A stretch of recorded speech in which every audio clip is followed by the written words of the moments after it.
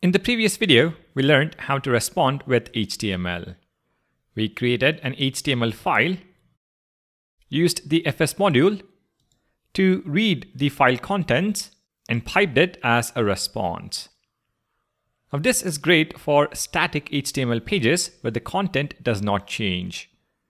However, you will come across a situation where you need to add some dynamic values into the HTML. For example, Let's say we need to display the logged in user's name. How do we inject the username into our HTML?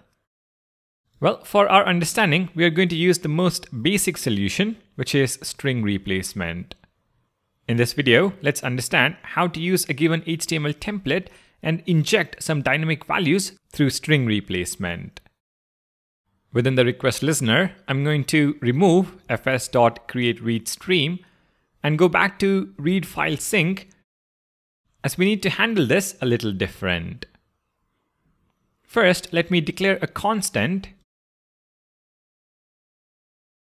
name and set it equal to the string Vishwas.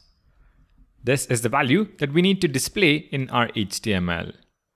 So in the HTML file, I'm going to add hello, double curly braces, name. Welcome to Node. What we now have to do is replace name in double curly braces with the name constant in our JavaScript file. And as I mentioned already, we are going to rely on simple string replacement. After reading the file contents and storing it in the HTML constant, I'm going to change const HTML to let HTML which stores the file contents. In the next line, I'm going to update HTML to be html.replace and we are going to replace name inside double curly braces with the name constant Vishwas. We send the updated HTML as response.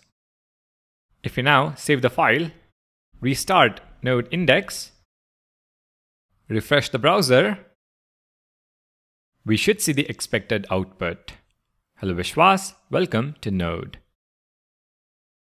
So we are able to create one HTML template, but have dynamic values from JavaScript.